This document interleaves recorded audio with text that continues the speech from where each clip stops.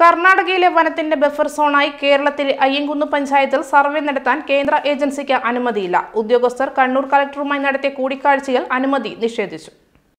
അയ്യൻകുന്ന് പഞ്ചായത്തിലെ രണ്ട് വാർഡുകൾ ബ്രഹ്മഗിരി വന്യജീവി സങ്കേതത്തിന്റെ ബഫർ സോണായി അടയാളപ്പെടുത്തി എന്ന പരാതിയിലാണ് തീരുമാനം. ചീഫ് സെക്രട്ടറി തലത്തിൽ അനുമതി വാങ്ങണമെന്ന് കളക്ടർ നിർദ്ദേശിച്ചു. കേന്ദ്ര ഏജൻസി ഉദ്യോഗസ്ഥർ മുൻകൂർ അനുമതി വാങ്ങാത്തത് പ്രദേശത്ത് ആശങ്ക പടർത്തിയെന്നും ഇനി സംസ്ഥാന സർക്കാർ വിഷയത്തിൽ തീരുമാനം എടുക്കട്ടെയെന്നും A D M K K ദിവാകരനും collector നിർദ്ദേശിച്ച പ്രകാരം സംസ്ഥാന സർക്കാരിൽ നിന്ന് സർവേക്ക് അനുമതി തേടുമെന്ന് സീനിയർ ജിയോഫിസിസ്റ്റ് ഗൗരവ് കുമാറും ടെക്നിക്കൽ അസിസ്റ്റന്റ് വിശ്വജിത്ത് പാലും വ്യക്തമാക്കി.